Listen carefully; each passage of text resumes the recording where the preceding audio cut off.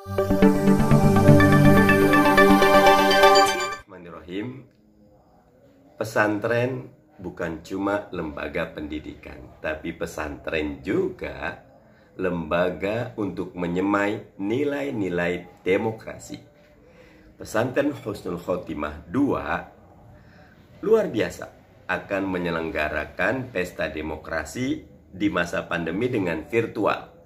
Selamat kepada pesantren Husnul Khotimah 2 yang akan menyelenggarakan pemilihan umum virtual untuk memilih para pemimpin di organisasi santri Husnul Khotimah dan Majelis Perwakilan Santri Husnul Khotimah II.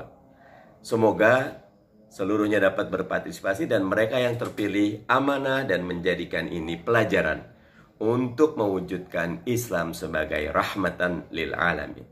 Saya Mardani Alisera.